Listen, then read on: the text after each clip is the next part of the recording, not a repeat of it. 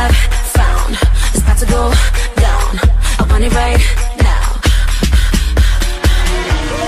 Walking through the fire.